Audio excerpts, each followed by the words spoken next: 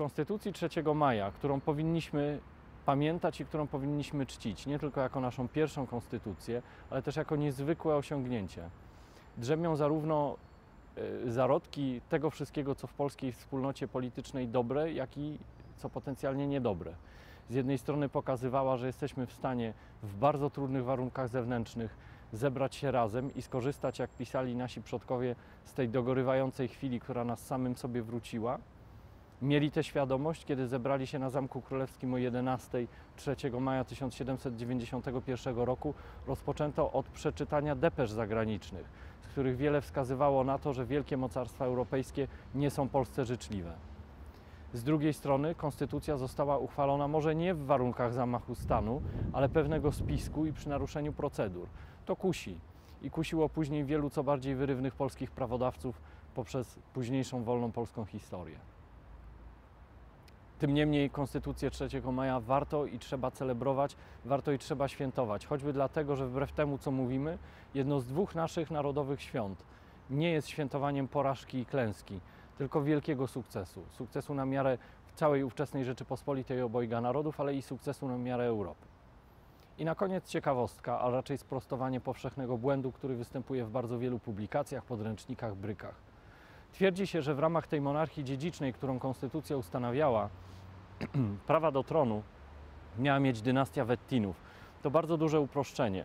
Do, do, swojej śmierci miał panować król Stanisław August Poniatowski.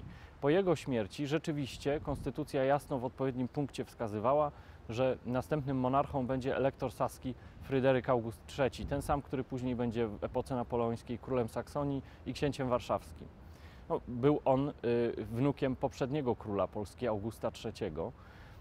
Zdecydowano się też na niego z wielu względów politycznych, ale chociaż konstytucja stwierdzała, że monarchia będzie dziedziczna z ojca na najstarszego syna, to z drugiej strony wiadomo było, że król, choć 40-letni, jego małżonka także, żonaty od ponad 20 lat, dochował się tylko jednej córki.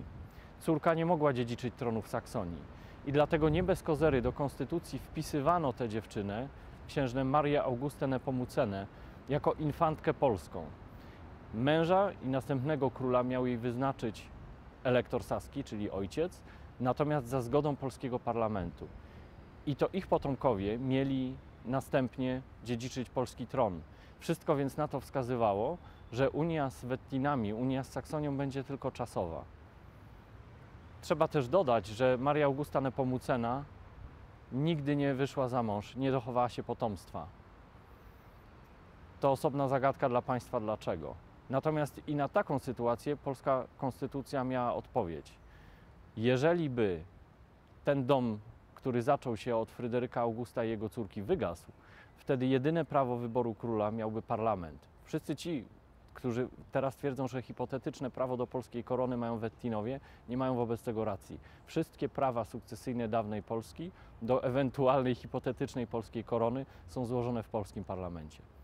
Tyle ciekawostki, natomiast prosząc Państwa o pamiętanie o Konstytucji 3 maja, o świętowanie razem w domach, na ulicach, w gronie znajomych, z przyjaciółmi, powiem to, co mówiono wówczas i co czasem jeszcze śpiewa się dzisiaj. Witaj Majowa Jutrzenko, niech się święci 3 maja.